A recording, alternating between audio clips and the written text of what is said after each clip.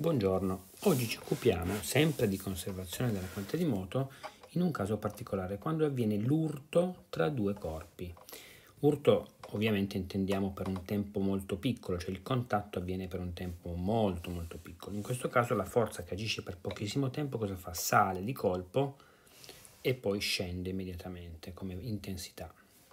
Una forza che in pochissimo tempo passa da 0 a un valore massimo viene chiamata forza impulsiva, come si dice anche nel carattere di una persona, cioè agisci subito. Hm?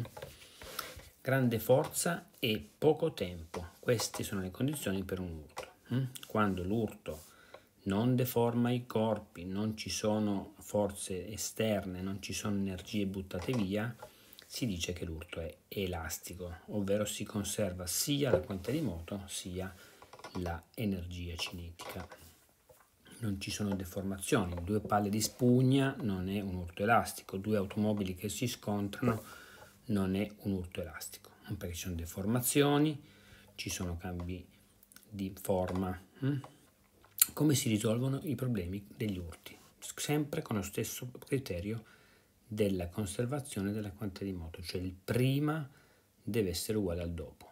Abbiamo due bocce, una con direzione orizzontale verso destra, l'altra con direzione orizzontale verso sinistra, di massa diversa, succederà che magari tutte e due, questa torna indietro e questa continua nel suo moto perché ovviamente la sua massa, pensiamo alle bocce. Hm? Per risolvere questi problemi impongo la conservazione della quantità di moto.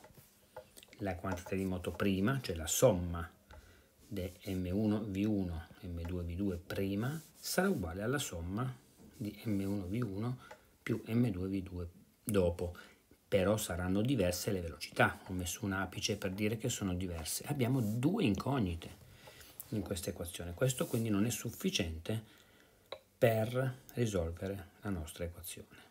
Queste sono equazioni vettoriali.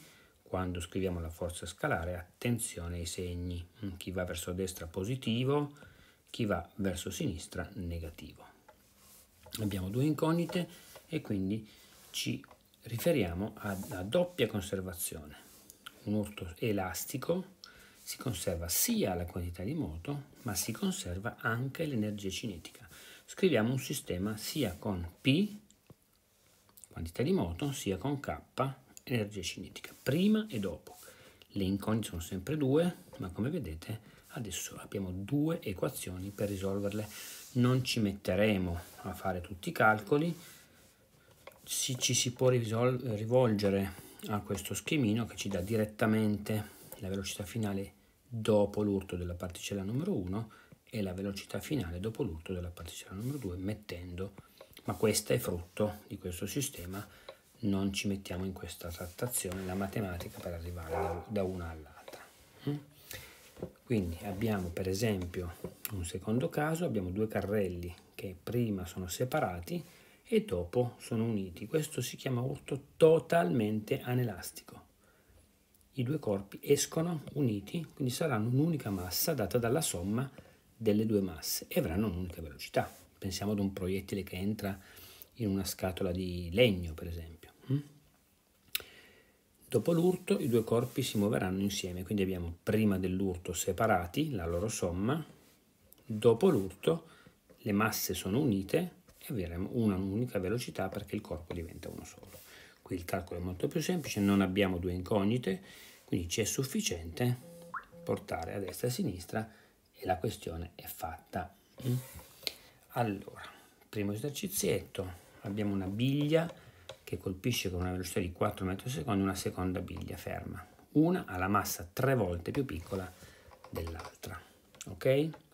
Allora utilizziamo queste formule, questa formula qua e questa formula qua, queste due, e mettendo soltanto i valori all'interno, ricordandoci che al posto di mettere M1 metteremo 3 volte M2 o al posto di mettere M2 si potrebbe mettere un terzo M1 che è un po' più scomodo perché c'è la frazione. Facendo i calcoli otteniamo le masse, le mettiamo come letterali naturalmente, otteniamo le due velocità.